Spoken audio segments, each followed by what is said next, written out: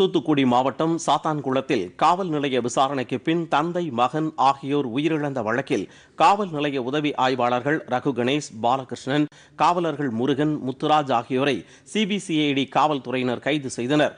இவ்வழக்கில் அவர்கள் மீது கொலை வழக்கு பதிவு செய்யப்பட்டுள்ளது.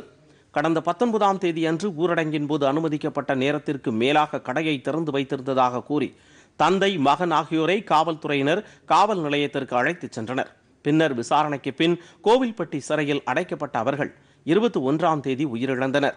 இந்நிலையில் சாத்தான்குளம் காவல் ஆய்வாளர் ஸ்ரீதர் உதவி ஆய்வாளர்கள் ரகு கணேஷ் பாலகிருஷ்ணன் காவலர்கள் முருகன் முத்துராஜ் ஆகியோர் பணியிடை நீக்கம் செய்யப்பட்டனர். இச்சம்பவம் தொடர்பாக சென்னை உயர்நீதிமன்ற மதுரை கிளை தாமாக முன்வந்து வழக்கு பதிவு செய்து விசாரணை செய்தது. இதற்கிடையே இவ்வழக்கை சிபிஐ விசாரணைக்கு மாற்றி தமிழக அரசு உத்தரவிட்டது. சிபிஐ விசாரணை தொடங்கும் வரை சிபிசிஐடி பிரிவினர் இவ்வழக்கை விசாரிக்க வேண்டும் என்று நீதிமன்றம் உத்தரவிட்டது. இதையடுத்து சிபிசிஐடி பிரிவினர் உயிரிழந்தவர்களின் வீடு அவருடைய கடை மற்றும் அருகில் உள்ள வணிக நிறுவனங்களுக்கு சென்று விசாரணை நடத்தினார்கள்.